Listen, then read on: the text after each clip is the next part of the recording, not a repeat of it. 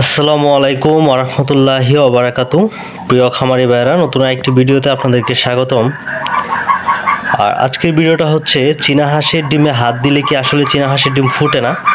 বা এরকম আহ, অনেকেই জানেন। তো এই বিষয়টা নিয়ে কথা বলব। তার আগে অবশ্যই আপনাদের কাছে একটা রিকোয়েস্ট আপনারা যারা আমার চ্যানেলটি এখনও সাবস্ক্রাইব করে নাই প্লিজ আপনারা আমার চ্যানেলটি সাবস্ক্রাইব করে দিবেন।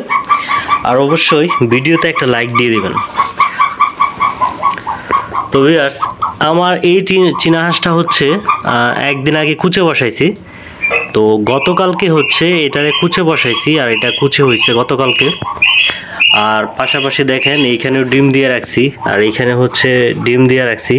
এইখানে দিচ্ছে হচ্ছে চোদ্দ পিস আর ওইখানে বিশ পিস এটার নিচে হচ্ছে বিশ পিস তো আরও ডিম আছে রুমে, সেগুলো হচ্ছে আপাতত সংরক্ষণ করা হইতেছে। যেহেতু আমার হাঁসগুলো এই যে দেখেন, এগুলো হচ্ছে সবগুলো ডিম দিতেছে।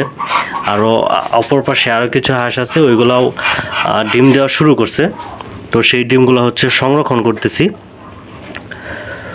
তো অনেকেই আসলে আপনারা কমেন্ট করেন বা আমাকে মেসেজ দেন যে চীনা হাঁসের ডিমে হাত দিলে চীনা হাঁসের ডিম ফুটে না। এটা আসলে কতটুকু সত্য?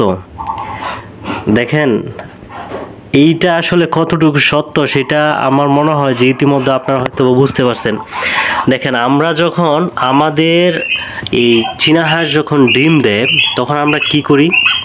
তখন আমি যে কাজটা করি সেটা হচ্ছে চীনা হাঁসের ডিমগুলো কিন্তু এখান থেকে সংরক্ষণ করে আমি আমার বাসায় রেখে দিই, নিয়ে রুমে হচ্ছে রেখে দিই। তারপর হচ্ছে যখন সময় হয় কুচে হয় আমার হাঁসগুলো, তখন আমার যে ডিমগুলো থাকে, ডিমে যদি ময়লা থাকে, সেই ডিমগুলো হচ্ছে খুব সুন্দর করে, পরিষ্কার করে, তারপর হচ্ছে দেখেন, প্রত্যেকটা ডিমে কিন্তু আমি মার্ক করে দিছি। এই যে, প্রত্যেকটা ডিমে আমি কিন্তু মার্ক করে দিছি। যাতে আমার যেই, যেহেতু এখানে ডিম দিতেছে রানিং যাতে ডিম এখানে নতুন একটা ডিম আসলে যাতে আমি বুঝি যে ওই ডিমটা নতুন আসছে। ঠিক আছে? এই জন্য হচ্ছে ওই ডিমগুলো হচ্ছে আমি সংরক্ষণ করি। তো এখন যারা বলেন যে আসলে চীনা হাঁসের ডিমে হাত দিলে ফুল, ডিম ফুটে না তো এখন আপনারা হয়তো ইতিমধ্যেই তার উত্তরটা পেয়ে গেছেন, কেননা আমি যে আমার চীনা হাঁসের ডিমগুলো এখান থেকে সংরক্ষণ করি, এটা কিন্তু আসলে হাতের মাধ্যমে করি, তাই না? এখন এখানে ডিম পারছে, এই ডিমগুলো নিয়ে কিন্তু আমি ফ্রিজে রেখে দেই বা যেখানে রাখি। আমার হাত দিয়েই তো আমার চীনা হাঁসের ডিমগুলো এখান থেকে আমার সংরক্ষণ করতে হয়, তাই না? বা এমন তো না যে মেশিনের মাধ্যমে আমি এখান থেকে ডিমগুলো সংরক্ষণ করে হচ্ছে আমি নিয়ে আমার রুমে রেখে দিই। তো বিষয়টা এরকম না। এটা হচ্ছে সম্পূর্ণটা একটা ভিত্তিহীন কথা, একটা বোয়া কথা। কারণ এটা আসলে যারা বলে, আমার মনে হয় তারা কখনোই মানে চীনা হাঁসের সম্পর্কে মনে হয় জানে না বা এই বিষয় সম্পর্কে জানেই না। এটা হচ্ছে যে মানুষ আগে বলতো না যে রোদে গেলে নাকি এই ব্রণ নষ্ট হয়ে যায় ডিমের নাকি ব্রণ ফুটে না মানে চীনা হাঁসের ডিম ফুটে না, বা যে কোনো ডিম আর কি রোদ্রে গেলে ফুটে না, তারপর হচ্ছে পানি পড়লে ফুটে না। আসলে এগুলো জাস্ট একটা মানে মানুষের কথায় কথায় আর কি বলে। এগুলো আসলে সম্পূর্ণটাই ভিত্তিহীন। কেননা আমার এই চীনা হাঁসের ডিমগুলো যখন ময়লা পড়ে, তখন আমি কিন্তু এদেরকে সুন্দর করে হচ্ছে পানি দিয়ে ধুই। ধোয়ার পর হচ্ছে আমি রোদে শুকাই। রোদে শুকানোর পর আমি চীনা হাঁসের ডিমগুলো এনে তারপর হচ্ছে এদের নিচে বসায় দিই। আদিত হচ্ছে আমরা যখন ফ্রিজে ডিম সংরক্ষণ করি, তখনও কিন্তু হচ্ছে ডিমগুলো কিন্তু ভিজা অবস্থায় থাকে। তখন ডিম শুকানোর পর হচ্ছে আমরা চীনা হাঁসের নিচে দিয়ে দিই।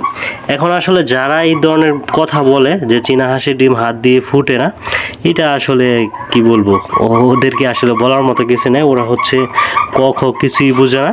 ওরা মনে করেন যে আন্তাজি একটা ফুটো একটা আপনাদেরকে দিয়ে দেয়।